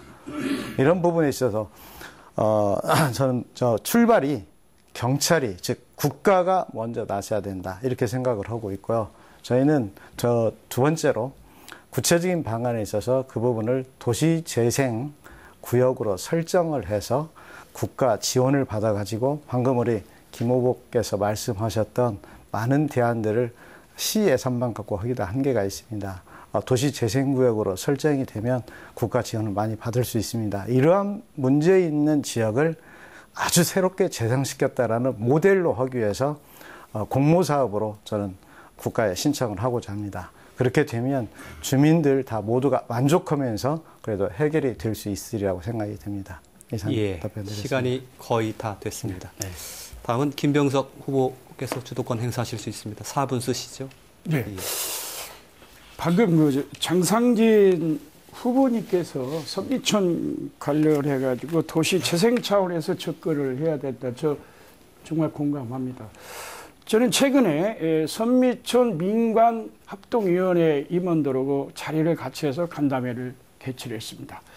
저는 도시재생차원에서 반드시 이 문제는 사실 65만 전주 시민의 관심사고 전주시의 최대 과제입니다. 그래서 이 문제를 해결하기 위해서는 좀 전주시가 아, 적극적으로 주도적으로 나서야 된다. 그래서 민관 가버넌스를 구축을 해서 빨리빨리 단계별로 나는 추진이 돼야 된다고 생각을 합니다. 그래서 우선은 그 성매매 직결지에 대한 여성 인권 보호를 해줘야 됩니다. 그 다음에 업주의 자활 대책도 만들어줘야 됩니다. 그러한 이후에 시민과 공감하는 관계에서 도시 재생 차원으로 밀어가고 또 노성동 그 지역 주민들도 협조를 얻어내서 선미촌 이전 로드맵을 만들어 가지고 작은 차관에게 저는 시장 임기 4년 이내에 반드시 예, 구체적으로 실천할 수 있는 그런 단계까지 만들어 가겠다 이런 말씀 드리겠습니다. 예, 질문 누구한테 하시는 거 예, 아니십니까? 우리 임정여 후보께 말씀을 드리겠습니다. 임정여 후보께서는 완주 군수 재직 시에 자치 경영 혁신을 통해서 어, 완주군이 군정 성과가 있고 전국 기토 단체 단 체 수도참 우수한 평가를 받았는데요. 출마 변을 말씀하실 때 변방에서 중심을 구한다 이런 그 슬로건을 제가 들어본 바가 있습니다. 그런데요. 완주군은 8만 6천의 예, 도농 기초 단체장입니다. 전주시는 65만의 대도시입니다. 어차피 전주시는 새만금의 배후 도시고 앞으로 전라북도의 중추 도시권으로 가기 위해서는 소위 도시화를 확장시킬 수밖에 없는 그런 예, 상황이고요. 예, 완주군은 당시에 그 어, 재정이 있죠. 현대자동차, KCC 등 예, 그런 대기업에 있어서 재정 여건이 좋기 때문에 노인복지, 그 다음에 교육 지원 이런 건 충분히 했습니다. 그러나 전주시는 재정 여건이 어려운데 앞으로 그런 문제들을 어떻게 풀어나가실 겁니까? 두 가지로 말씀드리겠습니다. 재정 여건이 좋은 것은 현대자동차나 이런 게 있어서 그런 게 아니고요. 2006년 예를 들면 완주군의 지방세는 2005년도에 375억인데 고창은 100억이었습니다. 그런데 총 예산은 고창이 1000억이 많았습니다. 공무원들과 주민들이 끊임없이 노력해서 재정 여건을 키운 것이고요. 그래서 공무원들이 열심히 뛰었기 때문에 많은 일들을 할 수 있었다는 걸 제가 대신 말씀을 드리고요. 도시 확장 방식으로 전주를 키운다는 방식에 관해서는 다이 의견을 달리하지만 저는 완주와 전주가 여건이 다르지만 전주를 어떻게 발전시킬 것이냐에 관한 질문은 저는 첫 번째는 지역화로 생각을 합니다. 지역화의 화두는 지역의 자기 결정성이 있는데 지역에 있는 자원과 자산, 우리 주민들이 중심이 돼서 주민들이 가장 잘할 수 있는 방식으로 일자리를 만든, 만든다면 그게 지속 가능하고 거기에서 얻어지는 돈이 지역에 떨어지기 때문에 도시가 잘 살 수 있는 것이다. 이런 사회적 경제의 일자리들은 이미 유럽의 선진 사회에서는 성공한 도시들이 많이 있기 때문에 네, 자- 완주에서는 방식들을 전주에 도입하고 싶습니다. 예, 시간이 좀 남았습니까? 10초 남았습니다. 아, 예. 사회적 그 경제 거점 부축은 제가 이해를 하지만 예, 예. 지금 전주시는 자영업, 서비스업, 중소기업 많이 어렵습니다. 예, 그런 그렇기 때문에 그런 있다는 거죠. 문제부터 우선적으로 해결해 나가야 예, 된다고 생각합니다. 그런 문제 지적하신 문제를 예. 그런 방식으로 해결이 가능하다. 그 알겠습니다. 말씀을 자신 있게 드립니다. 예, 장상준 후보 마지막으로 4분 쓰실 수 있습니다. 예, 우리 김승수 후보한테 많은 걸 질문드려서 죄송합니다. 네. 반갑게 받겠습니다. 어, 우리 김승수 후보께서 어, 잘못한 부분에 대해서 어, 책임을 통감한다. 아, 공직자는 책임을 어, 지켜야 된다. 이런 말씀을 많이 하셨습니다. 예. 근데 이게 말로만 하는 것이 아닌지 하는 의문이 들기 때문에 네. 제가 아, 몇 가지를 말씀드리겠습니다. 어, 2012년도 정무부지사로서 프로야구 19단 유치 책임을 맡았고 언론에 유치를 자신한다고 발표하였습니다. 그러나 실패를 했습니다. 뭔가 책임을 져야 되는 거 아니겠습니까? 직전 정무부지사는 LH 유치 실패로 책임을 지고 물러났습니다. 김 후보께서는 그대로 있으니 책임이 없는 게 아닌지 아니면 지사님께서 총회를 해서 특혜로 자리를 유지하게 하는 거 아닌지 하는 예. 의구심들과 시민들이 그렇게 얘기를 하기 때문에 예. 제가 이렇게 혹시 제가 뭐 이렇게 개인적으로 비난을 하고 싶어서 한 게 아니고 예, 예. 어, 그 부분에 대해서 우리 김순수 후보님께서 예. 책임 책임을 강조하시기 때문에 예. 책임은 말로 하는 게 아니고 행동으로 보여주고 진짜 진정성 있게 책임을 져야 된다고 저는 생각이 되기 때문에 이 말씀을 하나 드렸고 아울러서 더 말씀을 드리겠습니다. 2009년도 7월 김한주 지사님께서 이명박 대통령께 사은의 편지를 쓴 것으로 언론에 알려졌습니다. 어, 그 당시에 민주당 일부 의원들께서도 해당 행위로까지 언급을 했었는데 어, 아마 이 사실은 알고 계실 겁니다.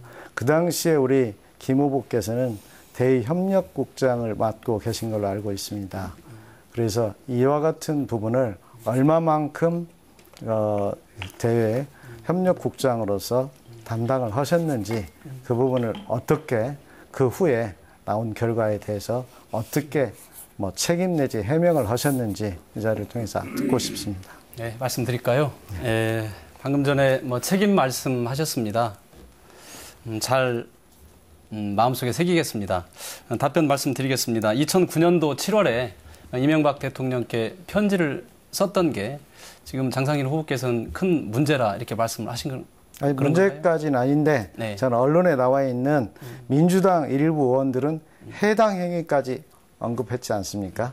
제가 그 팩트만 저는 그 당시에 어, 이- 여기에 없었기 때문에 사실은 잘 모르겠습니다. 그러나 제가 이번 토론을 준비하면서 우리 김 후보님께서 네, 대회. 담당 국장을 했을 때 무슨 일을 했을까 제가 해보니까 이 기사가 있었기 때문에 말씀을 드리는 겁니다. 물론 이제 제가 이거를 이 편지와 관련해서 직접 담당했던 사람은 물론 아닙니다만 저는 그 당시에 새만금 신공항 새만금 신항만 때문에 굉장히 어려운 사정이 있어서 편지를 쓸 수밖에 없는 입장이었습니다. 그리고 그 편지가 효과가 있었다고 생각을 하고요.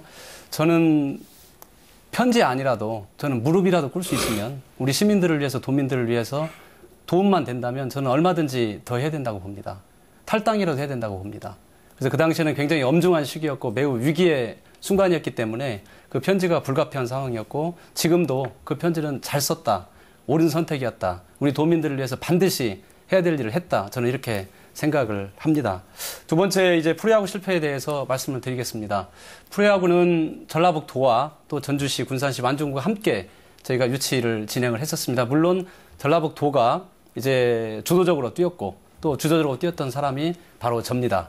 근데 마지막에 결정을 지었던 게 예. 이제 팽평에 갔습니다만 수원시에서 5천억 드는 돔구장을 알겠습니다. 설치한다고 그래서 저희도 같이 할 수가 없었기 때문에 예. 그래서 도저히 용납할 수 있는 부분이 아니어서 그 부분은 저희가 처리하는 바람에 프로야구에 예. 실패했다는 말씀을 드리겠습니다. 예, 알겠습니다. 잘 들었습니다.